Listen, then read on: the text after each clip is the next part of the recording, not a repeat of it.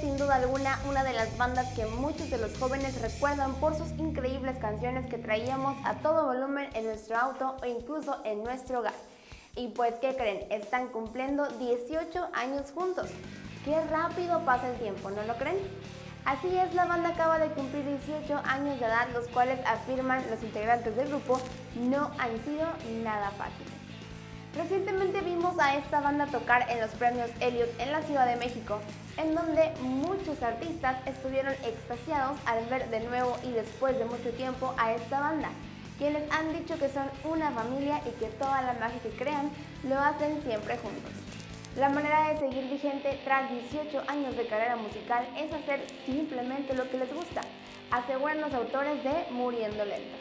Por ello la banda lanzó su nuevo sencillo Caballero, donde participó con Carol G apostándole al género urbano.